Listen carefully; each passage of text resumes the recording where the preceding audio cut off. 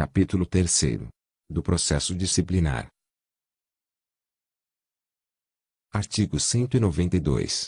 O processo disciplinar é o instrumento destinado a apurar responsabilidade de servidor por infração praticada no exercício de suas atribuições, ou que tenha relação imediata com as atribuições do cargo em que se encontre investido. Artigo 193.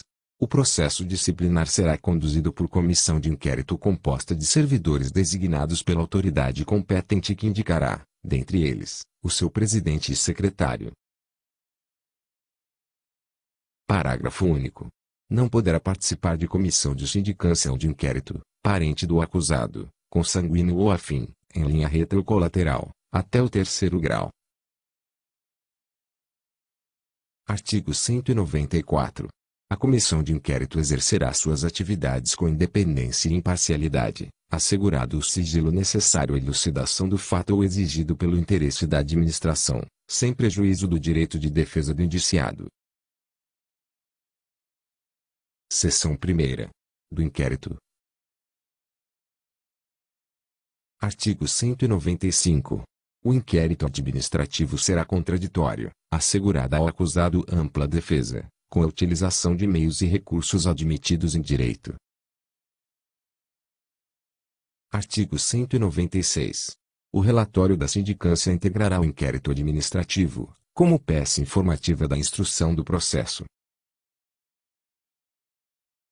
Parágrafo único.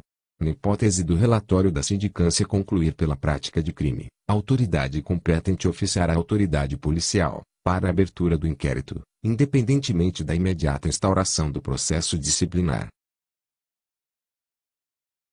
Artigo 197. O prazo para a conclusão do inquérito não excederá 60 dias úteis, contados da data de publicação do ato que constituir a comissão, admitida sua prorrogação por igual prazo, quando as circunstâncias o exigirem. Parágrafo único.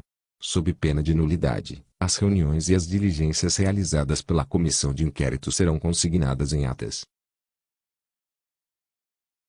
Artigo 198. Na fase do inquérito a comissão promoverá a tomada de depoimentos, acariações, investigações e diligências cabíveis, objetivando a coleta de prova, recorrendo, quando necessário, a técnicos e peritos de modo a permitir a completa elucidação dos fatos. Artigo 199. É assegurado ao servidor o direito de acompanhar o processo, pessoalmente ou por intermédio de advogado, arrolar e requerer testemunhas, produzir provas e contraprovas e formular quesitos, quando se tratar de prova pericial. Parágrafo 1. O presidente da comissão poderá denegar pedidos considerados impertinentes, meramente protelatórios ou de nenhum interesse para o esclarecimento dos fatos. Parágrafo 2 Será indeferido o pedido de prova pericial, quando a comprovação do fato independer de conhecimento especial do perito. Artigo 200.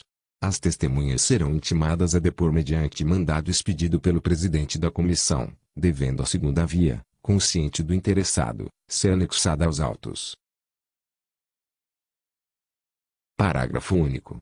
Se a testemunha for servidor público, a expedição do mandato será imediatamente comunicada ao chefe da repartição onde serve, com a indicação do dia e hora marcados para inquirição. Artigo 201. O depoimento será prestado oralmente e reduzido a termo, não sendo a testemunha trazê-lo por escrito. Parágrafo 1. As testemunhas serão inquiridas separadamente. Parágrafo 2. Na hipótese de depoimentos contraditórios ou que se infirme, proceder-se-á à acareação entre os depoentes. Artigo 202. Concluída a inquirição das testemunhas, a comissão promoverá o interrogatório do acusado, observados os procedimentos previstos nos artigos 200 e 201. Parágrafo 1. No caso de mais de um acusado, cada um deles será ouvido separadamente, e sempre que divergirem em suas declarações sobre os fatos ou circunstâncias, será promovida a cariação entre eles. Parágrafo 2 O defensor do acusado poderá assistir ao interrogatório bem como à inquirição das testemunhas, podendo reinquiri-las por intermédio do presidente da comissão. Artigo 203. Quando houver dúvidas sobre a sanidade mental do acusado, a comissão proporá à autoridade competente que ele será submetido a exame por junta médica oficial, da qual participe pelo menos um médico psiquiatra. Parágrafo único. O incidente de sanidade mental será processado em auto apartado e apenso ao processo principal, após a expedição do laudo pericial. Artigo 204.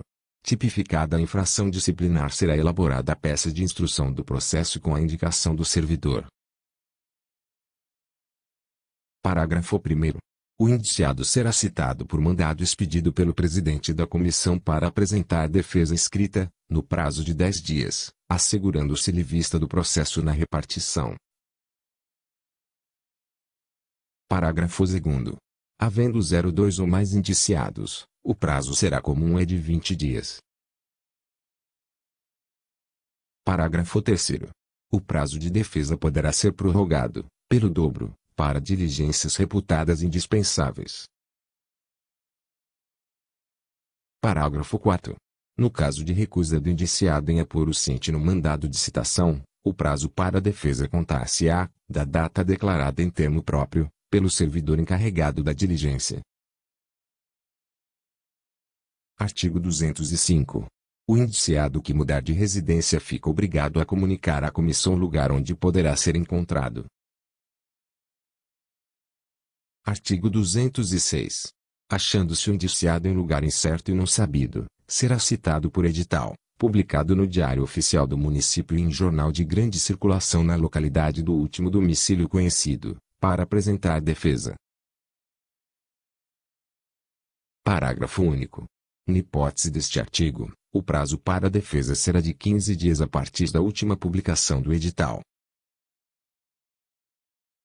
Artigo 207. Considerar-se-á, revel o indiciado que, regularmente citado, não apresentar defesa no prazo legal. Parágrafo 1.